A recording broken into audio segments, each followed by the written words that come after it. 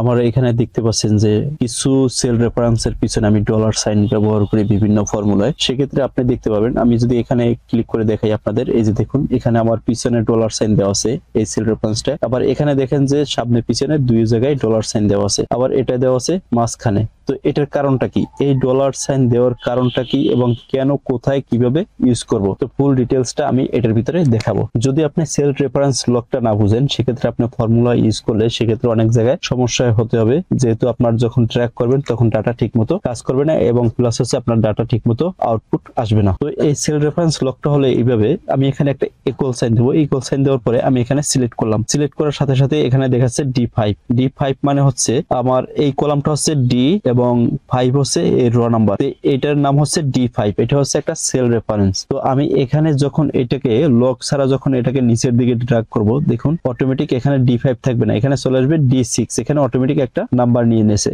এখন এখান থেকে যদি আমি রাইট এর দিকেও ক্লিক করি, সেক্ষেত্রে আমার এখানে চলে আসবে ই ফাইভ দেখুন, আমার এখানে এই কলমটা নিচে। যখন আমি এখান থেকে দুইটাকে ডিলিট করে দিলাম সিলেক্ট করে, এখন যদি আমি এটাকে লক করি, এখানে ক্লিক করার পরে এফ ফোরে একবারে ক্লিক করব দেখুন, সামনে এবং মাঝখানে দুইটা ডলার সাইন পড়ছে। এখন আমি এটাকে যদি নিচের দিকে ড্র্যাগ করি, আমার এই ডি ফাইভই থাকবে। এটাকে চেঞ্জ হবে না। যত দূরে ড্র্যাগ করি না কেন, এই দেখুন ডি ফাইভ এখানে আছে ডি ফাইভ এখানেও ডি ফাইভ এটাকে যদি আমি রাইট দিকে ড্র্যাগ করি, সেক্ষেত্রে আমার ডি ফাইভই থাকবে। এই দেখুন ডি ফাইভ এটাকে আমি যত দূরে ড্র্যাগ করি না কেন, আমার এই সেল রেফারেন্স চেঞ্জ হবে না।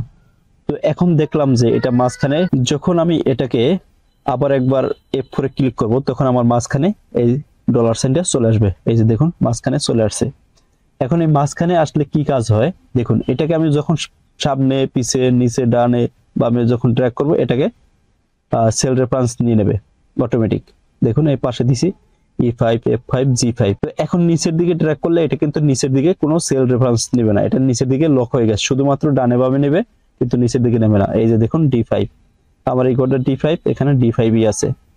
তো মাঝখানে ডলার সাইন দিলে এদিকে ওদিকে কোনো সেল রেফারেন্স নেবে না।